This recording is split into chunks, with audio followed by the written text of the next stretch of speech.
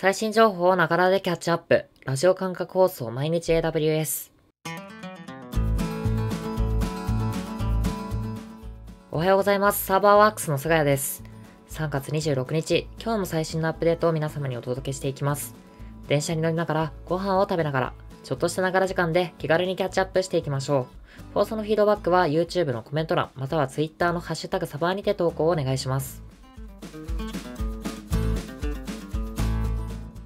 前回からのお試しで自分が毎日 AWS の収録で使用したトークスクリプトをサーバーワークスブログで公開しています。今回分も公開しているので、毎日 AWS の放送と一緒に確認していただけると嬉しいです。トークスクリプトは YouTube の概要欄、もしくは Podcast の説明欄にあるリンクから飛べます。フィードバックもお待ちしております。では、早速最新1日のアップデートを見ていきましょう。今回は3月25日、なんと14件のアップデートがございました。YouTube でご覧の方は動画概要欄のアップデートタイトルのところにタイムスタンプリンクを用意しているので、こちらで見たいアップデートの部分に飛んでいただけるといいかなというふうに思います。まずは一つ目。AWS クラウドトレイルが Amazon DynamoDB のデータイベントをサポート。クラウドトレイルが DynamoDB のデータイベントをロギングできるようになりました。こちらクラウドトレイルが使えるすべてのリージョンで使うことができます。そもそも DynamoDB におけるデータイベントとは何だっていうことなんですけども、こちらはテーブルに保存されている各アイテムごとの操作イベントを指しています。運用チームがアイテムごとの操作履歴を確認できるようになるので、特定のアイテムで発生したトラブル、例えば誤って削除してしまった場合などの原因特定を迅速に行うことができます。デフォルトではデータイベントは収集されません。データイベントのロギングを有効するために、コンソールか CLI で設定する必要がございます。え、僕自身コンソールから今回の確認してみたんですけれども、DynamoDB のデータイベントは全テーブルもしくは各テーブルごとに有効化することができました。こちら高度なイベントセレクター機能にも対応しているので、アイテム削除の API コールのみロギングしたりなどの細かい要件にも対応できそうです。料金に関してはデータイベントは10万件記録されるごとに 0.1US ドルかかります。全テーブル全 API コールに対してデータイベントを有効にしてしまうとログ量がかなり増えてしまうので、なるべく要件を絞って利用したい機能となっています。続いて2つ目。AWS エレメンタルメディアテイラーが拡張デバッグログをはじめとする4つの追加機能をサポート。AWS エレメンタルメディアテイラーとは、自身で定義した視聴者ターゲットごとにパーソナライズ化された広告を動画に挿入した上でユーザーにブロードキャスト配信するサービスです。今回4つの新しい機能が追加されまして、1つ目、拡張デバッグログ。2つ目、ダッシュにおける WebVTT 字幕トラック。3つ目、ノンリニア広告。4つ目、HLS における広告パススルー機能。この4つの機能が追加されました。一つずつ説明していくんですけども、まず一つ目の拡張デバッグログの追加ですね。この機能を有効化することで、マニフェストリクエスト及びレスポンスペイロードなどの詳細情報が CloudWatch Logs に追加で記録されるようになります。これによって再生セッションで発生した問題のトラブルシューティングがより迅速に行えるようになります。続いて2つ目、ダッシュにおける WebVTT 字幕トラックのサポートです。えー、先ほどから話しているダッシュとは、ダイナミックアダプティブストリーミングオーバー HTTP の略でして、Web サーバーからメディアコンテンツをストリーミングする際に使われる規格の一つです。また、WebVTT とは Web ビデオテキストトラックフォーマットの略でして、HTML のトラックタグを使用して動画に字幕を追加する機能のことを指しています。要するにまとめますと、ダッシュによるストリーミング配信において、開発者は字幕をつけられるようになったという機能になっています。そして次に3つ目が、ノンリニア広告のサポートです。ノンリニア広告とは、動画コンテンツ再生中に再生コンテンツと並行して流れる広告のことでして、例えば、よく皆さんが見るのはバナー広告などがノンリニア広告なのではないかなと思います。エレメンタルメディアテイラーでもこのノンリニア広告がサポートされたことで、プレイヤーに JPEG による静的な Web 広告を挟めるようになりました。最後4つ目が Apple HTTP ライブストリーミング、略して HLS における広告マーカーパスする機能がサポートされました。HLS とは先ほどのダッシュ同様ストリーミング配信における規格の一つです。えー、広告マーカーパスする機能とはざっくり言うと、広告マーカーをオリジンマニフェストからパーソナライズ化されたマニフェストに引き継ぐことができる機能となっています。もう少し具体的に言うと、エレメンタルメディアテイラーはコンテンツを受け取るときにそもそもコンテンツ配信に関する様々なメタデータを格納するマニフェストファイルというものを一緒に受け取るんですね。これが先ほど言ったオリジンマニフェストになります。このマニフェストファイルに格納されているメタデータの中に広告を挿入する位置を決定する広告マーカーと呼ばれる情報も含まれているのですが HLS のデフォルトではパーソナライズ化されるタイミングで広告マーカーが引き継がれませんでした。ただし、今回の広告マーカーパスする機能を使うと、パーソナライズ化されたタイミングで広告マーカーを引き継げるようになります。メリットとしては、パーソナライズ化された後のマニフェストにも自分の任意のタイミングで広告が挟めるようになるということなので、例えばテレビ CM のように一番盛り上がる少し前のタイミングで動画広告を挿入するなどの広告の制御ができます。えー、以上4つの機能が新しくエレメンタルメディアテイラーに追加されたので皆さんも使ってみてはいかがでしょうか続いて3つ目レッドハットオープンシフトサービスオン AWS が一般提供開始Red Hat OpenShift Service on AWS 略して ROSA が登場しましてこちらざっくり言うと、 Red Hat OpenShift を AWS 上でマネージドで使えるサービスとなっています。そもそも Red Hat OpenShift とはというところなんですけども、こちらは Kubernetes の Linux ディストリビューションでして、コンテナオーケストレーションサービスとしてコンテナ管理をすることができます。今回こちらのサービス東京リージョンでも使えるみたいです。ROSA を使うことで、えー、様々なメリットがあります。例えば ROSA はマネージドサービスなので、サーバーの構築や運用といったオーバーヘッドから解放されます。他にも、レッドハットオープンシフトにより発生する面倒なライセンス管理も全て AWS が肩代わりしてくれます。また、レッドハットオープンシフトをすでに使っていたお客様も、今までと同じ API ツールを使用して AWS 上でレッドハットオープンシフトによるコンテナ管理をすることができます。気になる料金なんですけども、コントロールプレーンは1時間あたり 0.03US ドル、ワーカーノードは1時間もしくは1年間ごとの課金体系が用意されていました。こちらに関しては詳しくはドキュメントをご参照ください。実際に僕も ROSA コンソールが用意されていたので触ってみたんですけども、コンソールだと今はまだサービスの有効化と Red Hat OpenShift 用の CLI ダウンロードしかできませんでした。そしてコンソールからサービスの有効化はできるんですけども、サービスの無効化ができない点ご注意ください。コストエクスプローラーで有効化後に確認したところ、えー、有効化しただけでは課金はされていなかったので、特に何か裏側でリソースが立ち上がったりはしない認識なんですけども、心配な方はむやみにこちらのサービスを有効化するのはやめましょうね。この部分、詳細が分かったらトークスクリプトの公開ブログに追記しておきたいと思います。では続いて4つ目。AWS ツールキット for VS コードが AWS SSO クレデンシャルプロファイルによる接続をサポート。AWS ツールキット for VS コードが AWS SSO クレデンシャルプロファイルを使用して AWS アカウントに接続ができるようになったというアップデートになっています。AWS ツールキット for VS コードとは VS コード上で AWS リソースを使ったサーバーレスアプリケーション開発を容易にするオープンソースプラグインです。今回のアップデート、AWS ツールキット for VS コードのクレデンシャルファイルに AWS SSO の情報を入力するだけで適用されました。サインインするときは一度デフォルトブラウザが起動するので、ブラウザ経由で認可認証のプロセスが行われるみたいですね。今回のアップデートで AWS ツールキット for VS コードを使う開発者の方が開発環境と検証環境を行ったり来たりする手間が減るようになるので開発スピードが上がるんじゃないかなと思います。続いて5つ目。Amazon タイムストリームが Amazon VPC エンドポイントをサポート。まずはじめに Amazon タイムストリームについて補足しておくと、こちらは時系列 DB のマネージドサービスです。時系列データの保存を細かく制御できる点が他の DB と違いまして、例えば最新の時系列データをメモリに、えー、古い履歴データは定義したポリシーに基づいてコスト最適化されたストレージに保存するなどのことができます。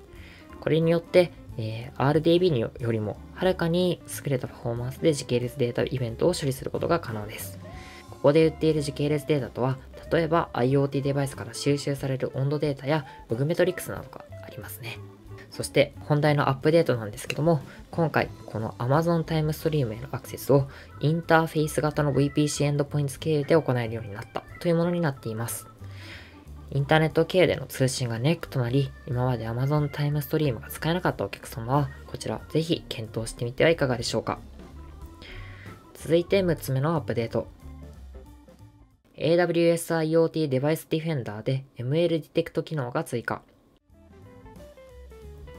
IoT フリートが赤夜に稼働しているか監視するサービス AWS IoT デバイスディフェンダーで ML ディテクトが発表されました。ML ディテクトとは過去のデバイスメトリクスを機械学習して IoT デバイスの各動作に敷地を設定して、えー、もし想定と異なる動作、つまりこの敷地を超える異常なアクションが検知された場合はアラートを飛ばしてくれるサービスとなっています。こちら今回東京リージョンでも使えるようです。今までは IoT デバイスディフェンダーで異常なアクションを検知する場合は Rules Detect 機能を利用して開発者がアラートを手動で設定する必要があったんですけども、今回のアップデートで、えー、自動で検知して、えー、アラートまでしてくれるようになったので、管理オーバーヘッドを減らせるんじゃないかなと思います。気になる料金ですが、機械学習における料金は発生しませんが、IoT デバイスディフェンダーが収集するメトリックスデータポイントに応じて月単位の課金が発生します。料金はデータポイント件数により4段階に分かれていまして、収集するデータポイントが多いほど、え、月額料金が安くなります。例えば、1億以上収集する場合は、10万件あたり 0.1US ドルになります。アラート発火後の処理は自分で作る必要があるんですけれども、検知の仕組み、通知の仕組みはわずか数クリックでできるので、IoT デバイスディフェンダーをお使いの方は、ぜひ試していただきたい機能となっています。続いて7つ目。Amazon Elasticsearch サービスのオートチューン機能でパフォーマンスを最適化できるように。Amazon Elasticsearch サービスがオートチューン機能をサポートして Elasticsearch クラスターの内部設定を自動管理してくれるようになりました。えー、Elasticsearch では大量のデータ取り込みや検索といったワークロードがよくあるんですけれども、この時に重要になるメモリ周りの自動調整をしてくれるそうです。こちらは東京リージョンでもお使いいただけます。えー、自動チューニング自体が発生すると、クラウドウォッチイベント、イベントブリッジにイベント発火も行ってくれるそうです。なので、ここから高速の処理につなげることも可能ですね。また自動チューニングの発生時は、 Elasticsearch Service コンソールの通知ビューからも確認ができまして、えー、クラスターのパフォーマンスについて変更の影響をリアルタイムで見ることも可能です。この Auto-Tune 機能を使うことで、ワークロードごとにメモリ周りが自動調整されるので、クラスターリソースをより効率的に使用し、パフォーマンスを向上させることができます。 Elasticsearch 6.7以降のみサポートされている点ご注意ください。ワークロードごとにパフォーマンス最適化してくれる点から有効にして損はない機能だと思っているので、ぜひ有効にしてみてください。続いて8つ目。Amazon Forecast でワークフローステータスの変更を通知できるように。機械学習を使用して精度の高い予測を行うフルマネージドサービス Amazon Forecast でワークフローステータスの変更を通知できるようになりました。ワークフロー通知は特定のステップが完了した時に通知することもワークフロー全体が完了した時に通知することもできます。この機能を使うことで特定のワークフローが完了したかどうかを、えー、いちいち確認する必要がなくなりますしまた通知はイベントブリッジやクラウドウォッチイベントに飛ばせるので、通知によるイベント発火で後続の処理につなげることも可能です。フォレキャストのステータス変更イベントは、確認したところ全部で9種類あったので、かなり細かい制御が行えそうだなという印象でした。えー、こちらについて詳細は Amazon フォレキャストのドキュメント参照してみてください。続いて9つ目。AWS クラウドマップが DNS 名による検出が可能なネームスペースで非 IP ベースのリソースを管理できるように。ちょっとややこしいアップデートなので、順を追って説明しますと、AWS クラウドマップとは、クラウドリソース検出サービスでして、自身で定義したネームスペースと特定の AWS リソースを紐付けて、その情報をもとに検出をすることができます。大きく2種類のネームスペースがありまして、1つ目が API による検出のみ可能なネームスペース。もう1つが API による検出に加えて DNS 名による検出が可能なネームスペースの2種類がございます。今までは API と DNS 名両方による検出が可能だったネームスペースには IP ベースのリソース、例えば EC2 インスタンスなどですね、しか登録できなかったんですけれども、今回のアップデートで非 IP ベースのリソースもまとめて管理できるようになりました。非 IP ベースのリソースとは S3 パケットや DynamoDB などを指しています。ちなみにこれはネームスペースを検出できる DNS 名がパブリックかプライベートかに関わらずサポートされます。ただし注意として今回のアップデートではまとめて管理できるだけで DNS クエリによる非 IP ベースリソースの検出はサポートされないみたいなんですね。ここが少しややこしいところなんですけれども、もし非 IP ベースのリソースと IP ベースのリソース両方を一気に検出したい場合は API コールをしなければいけない点、気をつけてください。続いて10番目のアップデート。NiceDCV Web クライアント SDK のバージョン1.00がリリース開始。まず、アップデートの本題に入る前に NiceDCV について解説しておくと、NiceDCV とは高性能なリモートディスプレイプロトコルでして、リモートデスクトップやアプリケーションストリーミングを行う際に使用されます。例えばグラフィックを対応するアプリケーションを GPU をたくさん積んだ EC2 上で実行して、その出力結果のみをローカル PC にストリーミングしたいなどの要件で使われます。NiceDCV を実装する場合は、サーバーとクライアント、それぞれに NiceDCV ソフトウェアをインストール必要がございます。そして、アップデートタイトルにもあった NiceDCV Web クライアント SDK なんですけども、こちらはカスタム Web アプリケーションで NiceDCV 通信を行いたい場合に使う必要なコア機能を含む SDK です。今回のアップデートでは NiceDCV Web クライアント SDK のバージョン1.00がリリースされたということになっていまして、バージョン1.00ということで、今回が1回目のリリースになっています。この NiceDCV Web クライアント SDK を使用する際の注意として、前提としてすでに NiceDCV 通信がサーバー、クライアント間で精通している必要がございます。なので、NiceDCV Web クライアント SDK を含む Web アプリケーションを動かすためには、NiceDCV クライアントソフトもインストールしている必要があるので、ご注意ください。続いて11番目。AWS バックアップでリカバリーポイントをまとめて削除できるように。こちら AWS バックアップに関するアップデートです。AWS バックアップではバックアップボールドと呼ばれるコンテナにバックアップを格納してそれをリカバリーポイントとして扱うことができます。今回のアップデートにより AWS バックアップコンソールで各バックアップボールト内のリカバリーポイントを複数選択もしくは一括で削除できるようになりました。まとめて削除できるようになったのは嬉しいですが、ご操作も増えそうなので気をつけていきたいですね。続いて12番目。Amazon AppFlow が送信先に全デスクをサポート。AWS と SaaS アプリケーション間でデータ転送を行うマネージドサービス AppFlow がデータ送信先に全デスクをサポートしました。もともと全デスクはソースとして使えていたみたいなんですけども、今回のアップデートで宛先にも指定できるようになったと。なので、例えば S3 ファイルから Zendesk チケットデータをアップロードするなどを AppFlow を組み合わせてできるようになります。 Zendesk と何か別のサービスを連携する場合は、ぜひ AppFlow を検討してみてください。続いて13番目。Amazon ケンドラにパーフィシエント社による新しい検索コネクタが追加。Amazon Kendra とはインテリジェントサーチ機能を提供するマネージドサービスです。インテリジェントサーチ機能を補足しますと、検索ワードだけではなく、ユーザーの情報や過去のアクティビティといった、えー、いろいろな背景をもとに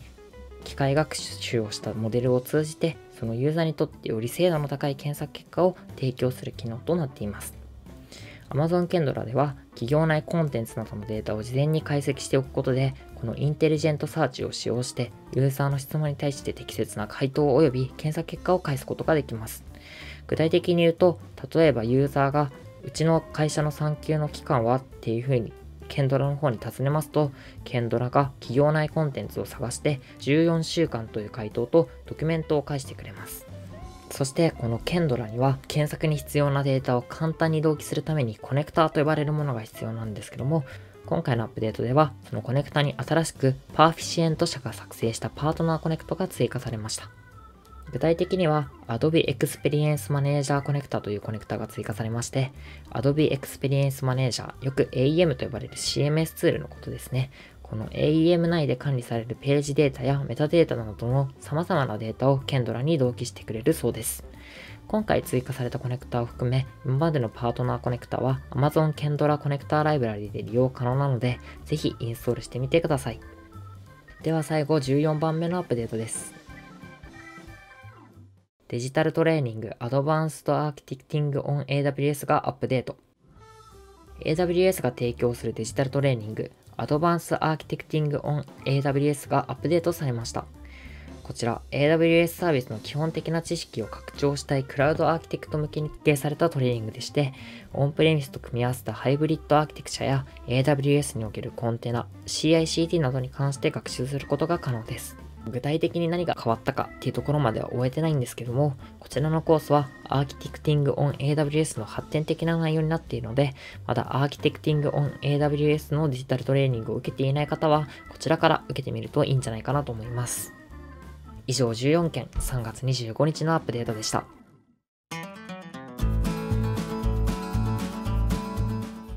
繰り返しになりますが、放送のフィードバックは YouTube のコメント欄、または Twitter のハッシュタグサバーにて投稿をお願いします。また次回、毎日 AWS お楽しみに。ではでは。